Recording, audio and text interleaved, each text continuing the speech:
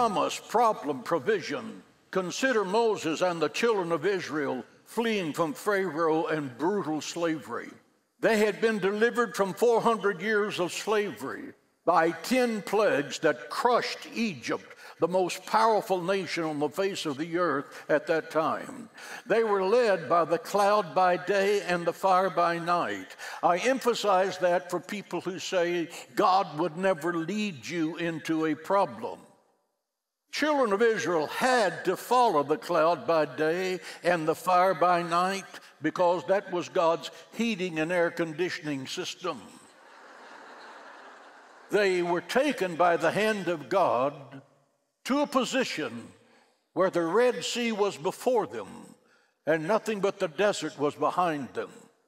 This was God's faith seminar. Tactically, it was a trap. The Red Sea was in front of them. Pharaoh and his army was behind them. They were in an impossible situation. Have you ever been there? God gave Israel and you three options surrender to the crisis, fight the undefeatable foe, or trust in God to deliver you from the enemies that present themselves and to wipe them out. Those are the three options. Moses gave Israel and the believers in the 21st century that formula for victory. You will see your enemies no more.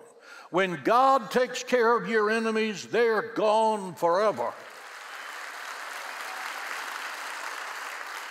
There are people in this auditorium and those watching by television in America and around the world who, like the children of Israel, find themselves in an impossible situation. You have a vicious problem for which you have no answer. God's formula is this do not be afraid, stand still, do your duty. Trust God for a miracle answer. Our God is a waymaker. Our God is a chain breaker. Our God is the sea walker. Our God is the blind man healer. He is almighty. He is all powerful. He is all knowing. He is the King of all kings and He is the Lord of all lords. He extends today the royal invitation to you Call upon me, and I will answer you and show you great and mighty things that you know not. He's higher than the highest, He's greater than the greatest, He's stronger than the strongest. Our God is an awesome God. Give Him praise in the house of God. The fact how we conduct ourselves in the problem will determine how long we stay in the problem. Is it permanent or short lived? We have a problem, America. We have a problem. The provision is get off the couch and go vote for candidates who are for America and against socialism. Vote the Bible. Vote the Bible. Vote the Bible.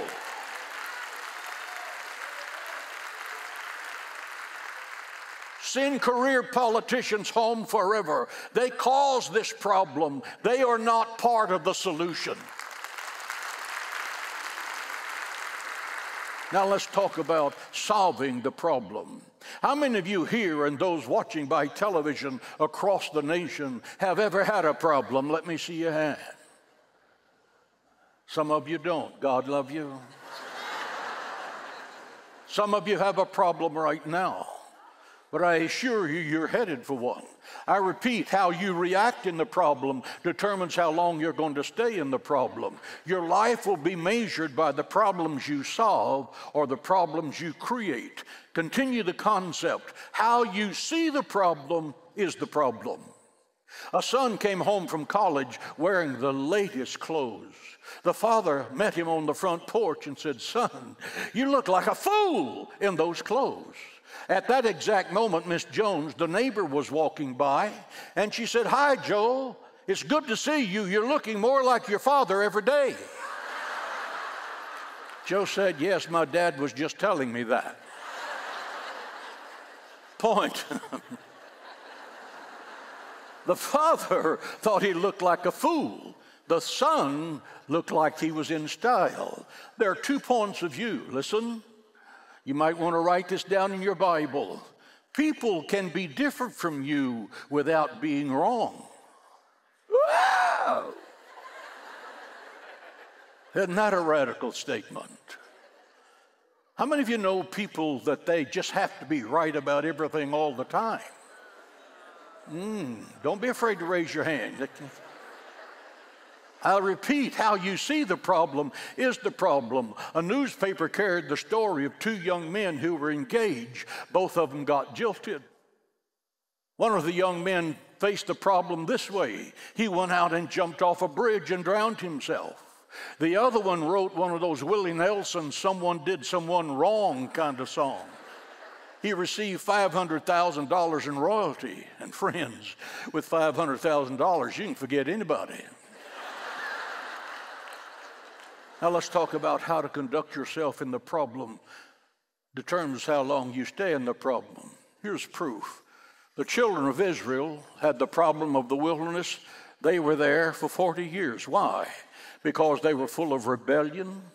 Every time Moses gave them a law, they murmured, they complained, and God Himself called them a stiff necked people. I mean, stubborn. God didn't sit in heaven wringing His hands and drinking Maalox, saying, Oh, they're not obeying me. His response was, Take another lap around Mount Sinai.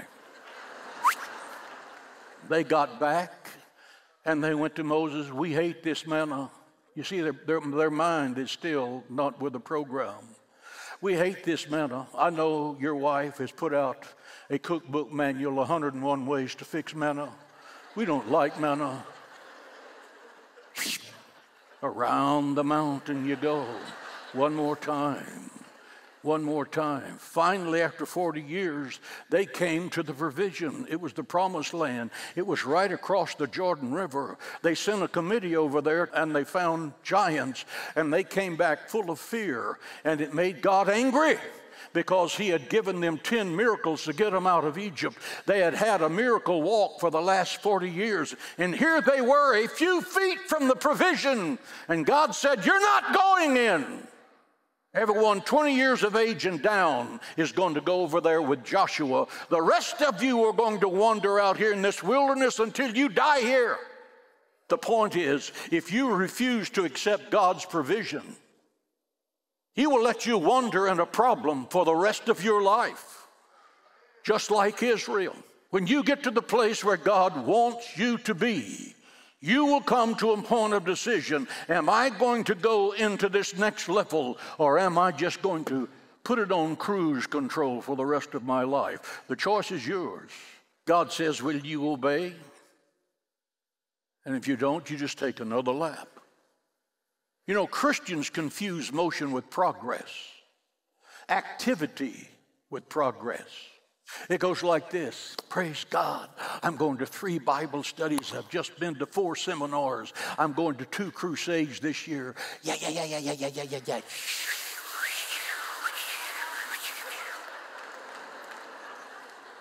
You're walking in circles.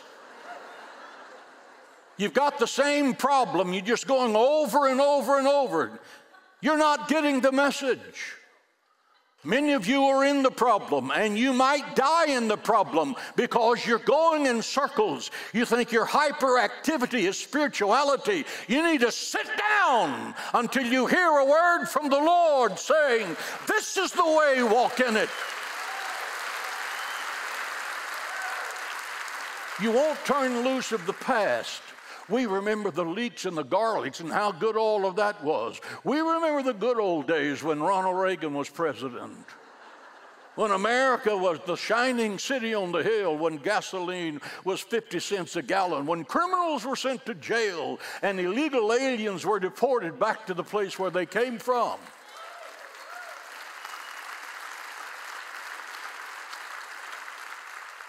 But we don't have that wonderful situation here because the American people have gone to sleep at the switch.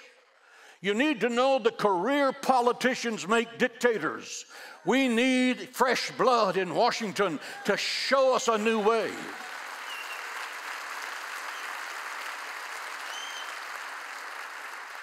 Paul said, forgetting those things which are the past, I press to the mark of the prize of the high calling If God has forgotten your past, why don't you? Your past is history. Your future is a mystery. Today is a gift from God. That's why we call it the present. Live every day with the glory of God, with love, joy, peace, and power and purpose. To those who don't love America, there are planes leaving every hour. Get on one. We don't need you.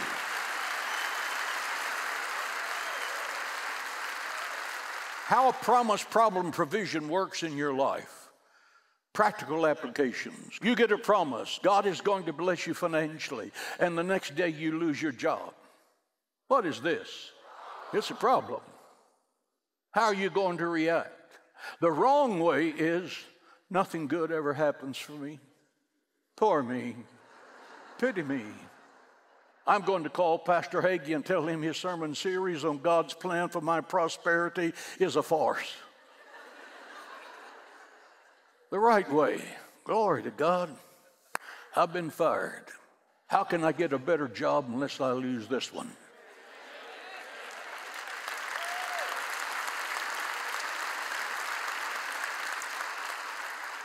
Let me take a little sidebar here and tell you the three promotions of God. It's good, better, and best. God always gives you something that's good. And when He's trying to give you something better, you hold on to something good like this. And God wants to give you something better, and He has to rip it out of your hands because, no, don't, don't take it. Don't take it from me and he finally gets it away from you, and you have this, oh, God, something better. Never dreamed it could be this good, and God wants to give you the absolute best. He has to drag it out of your hands. And he gives you, and he's, oh, thank God. If God takes something from you, it's because he has something to give you that'll make you forget everything he took from you.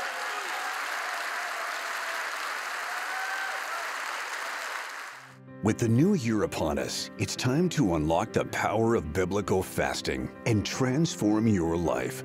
Do not be content going through this new year carrying the same burdens from your past. God has much more in store for your life and the lives of your loved ones.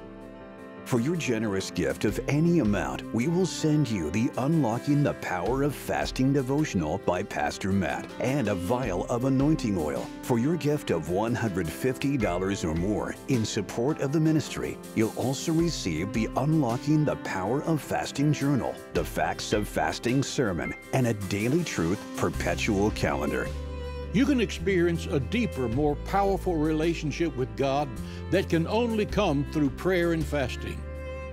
Send your best gift today. Call the number on your screen or visit jhm.org/fasting.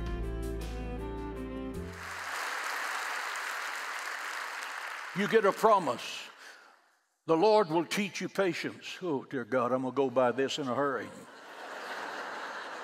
What's coming? A problem. Bible proof. Tribulation works patience. Say that with me. Tribulation works patience. I saw a sign the other day that really agreed with my spirit. It said, Antiques manufactured while you wait.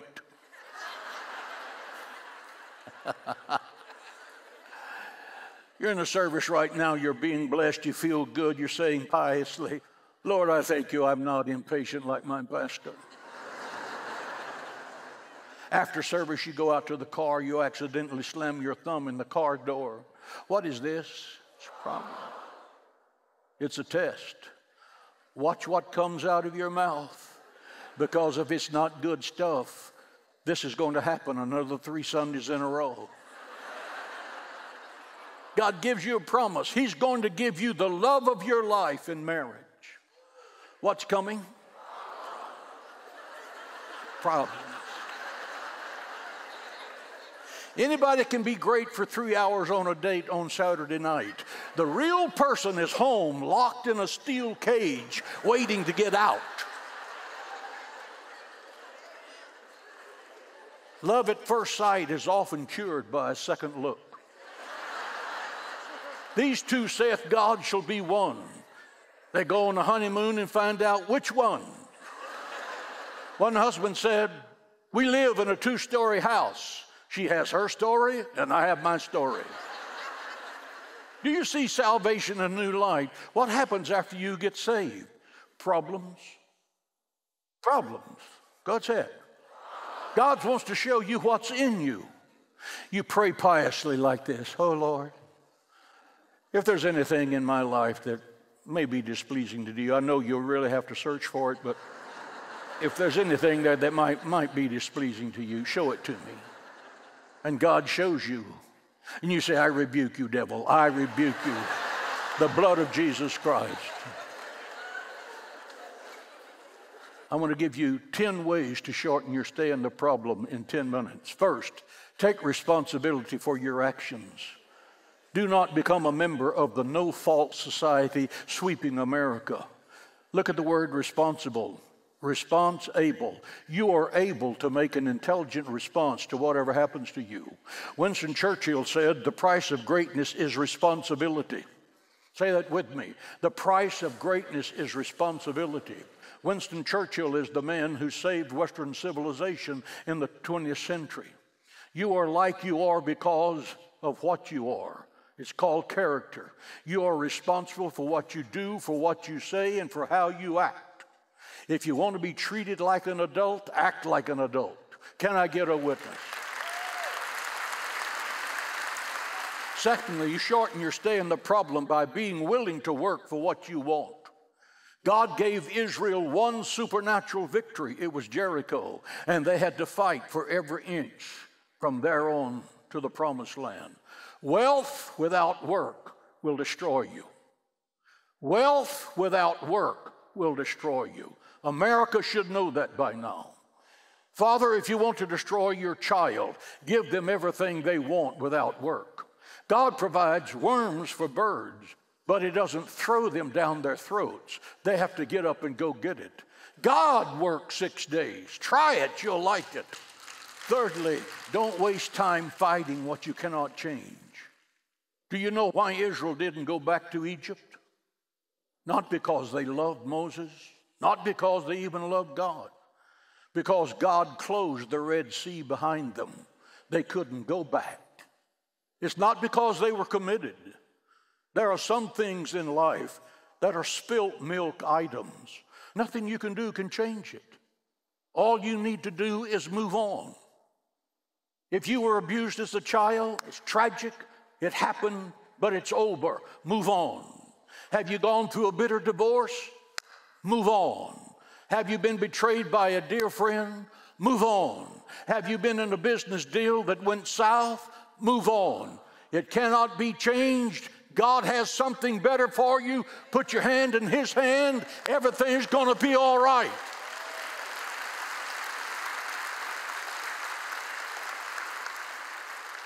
Fourthly, when you're wrong, admit it and take the consequences. Stop playing the blame game. Stop being the eternal victim. When you stand before God, you are going to answer for yourself and no one else. Take charge of your life, or someone else will. The fifth will extend your time in the problem by nursing a grudge and refusing forgiveness. There is in the Lord's Prayer this powerful phrase Forgive us as we forgive those. Forgiveness in the Bible is not optional. If you do not forgive others, God will not forgive you. Can you think of one person who has hurt you? The best way to get over it is to forgive them. Otherwise, you live in a penitentiary that they built for you. Forgiveness is the key that lets you out of the cage other people build for you. The way to have real peace is total forgiveness. Don't allow the opinions of other people to control you. Six, shorten your time in the problem by being generous to those who need your help. If you see someone that has a need and you can meet it, don't pray about it, meet it. Meet it. Give and it shall be given unto you. The Bible teaches givers gain. How you treat someone in their day of trouble will determine how God treats you in your day of trouble. That's in the Bible. Giving is the only proof you have that the cancer of greed does not control your soul. If something within you resents giving, it's not from God. You will die in the problem. Let's talk about tithing for 30 seconds. The churches in America, including this one, are full of debt Christians, D E B T Christians. D E B T is an acronym for doing everything but tithing. Malachi 3 and 8, God calls you a thief. Will a man rob God? Yes, you have robbed me in the tithes and the offering. God has your picture on his bulletin board in heaven, mugshots. The thieves in San Antonio. You're on that board. Seven, let your mouth be ruled by the law of kindness. Learn to say please and thank you and excuse me even at home. Apologize if you must, even to your wife. Mm. She's your partner, she's not your possession. Ladies,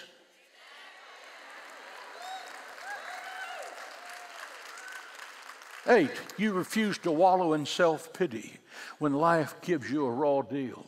Accept the fact that no one gets through life without some misfortune or sorrow.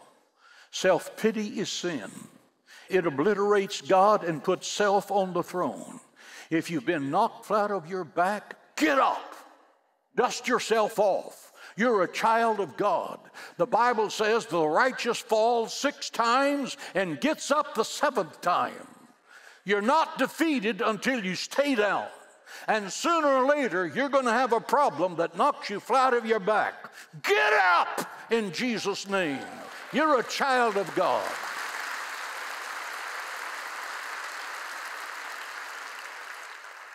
Nine, you shorten your time in the problem by listening.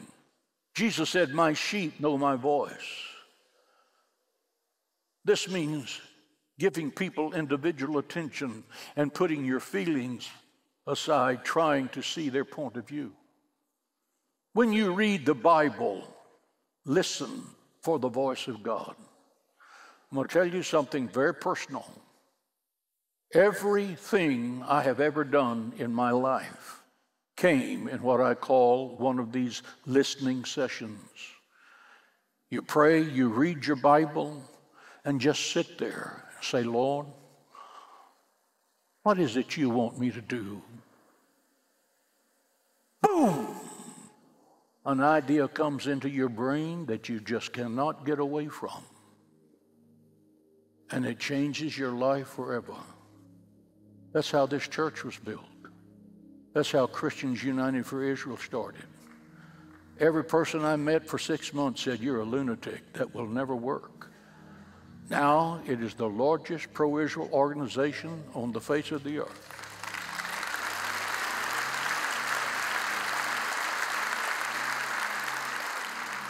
Lastly, be a peacemaker.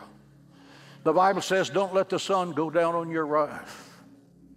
Are you angry with someone? Stop pouting and be reconciled. And I hear this, oh, but I'm right. Do you want to be right or reconciled? Would you rather have peace than to run around with your trophy of I'm right? God sends the problem to produce brokenness in your spirit because only God can use broken things. It takes broken soil to produce a crop of wheat. It takes broken clouds to produce the rain. It takes broken bread to produce strength. An atom has to be broken to give an atomic bomb its power. If you are hard hearted and calloused, God cannot use you. If you've never made a mistake, God cannot use you. If you're so full of yourself, people can't stand you, God can't use you. You have to be humble and broken before God, and then God can do the impossible through you. Quit worrying about who gets the credit for it and just do it because it's the good thing to do and the righteous thing to do. Can we stand to our feet?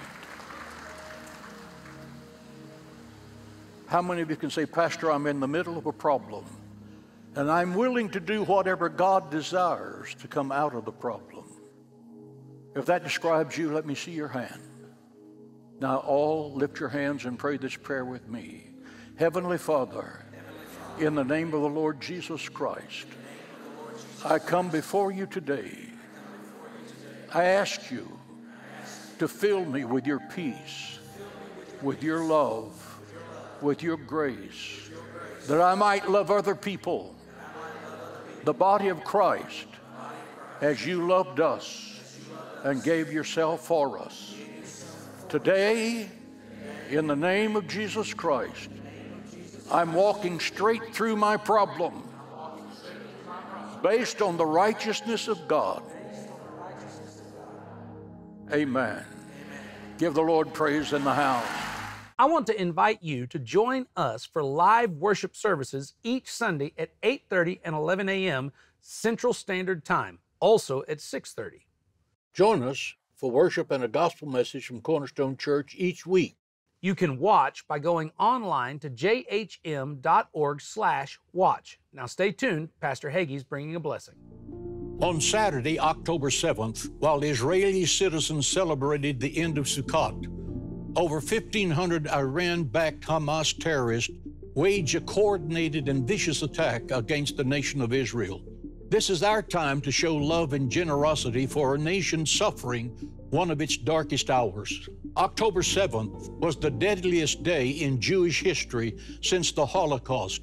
But make no mistake, Israel is shaken, but it is not defeated. Proceeds raised will address the humanitarian crisis resulting from this massacre. First responders and medical facilities are overwhelmed, and we need your help.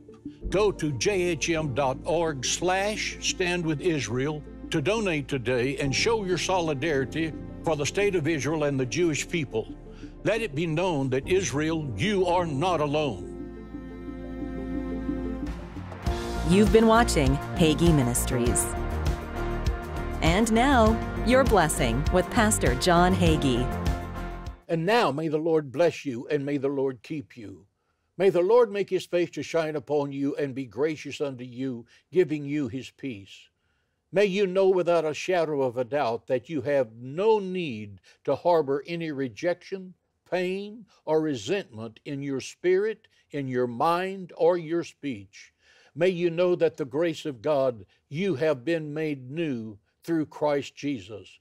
Walk in the love, the joy, and the peace that He alone has made possible for you. Live in divine confidence, knowing that you and God have an unconquerable future ahead and exciting walk down the paths of righteousness. Day by day, God will take you from glory to glory. Receive this blessing in the authority of Jesus' name. Amen and amen.